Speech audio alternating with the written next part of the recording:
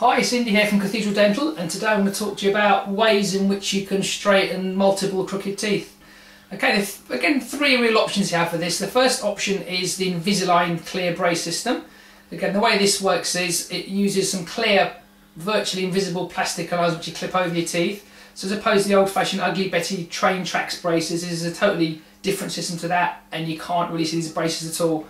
Again this system takes between 12 to 15 months to straighten your teeth very lifestyle friendly, fantastic system. The second option is something called Six Month Smile. Again, this is a brand new system which is over from the States. This works be between four to nine months.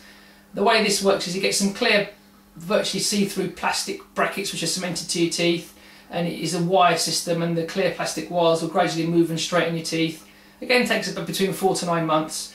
The third option is a veneer or crown options. Again, you may have seen this from those extreme makeover shows with this system you have to do some drilling on your teeth and we remove some tooth tissue we can get these veneers or crowns made up and they're cemented onto your teeth and they can really create a fantastic smile. Benefit of the system is very cool, you can get this done probably within a month or so.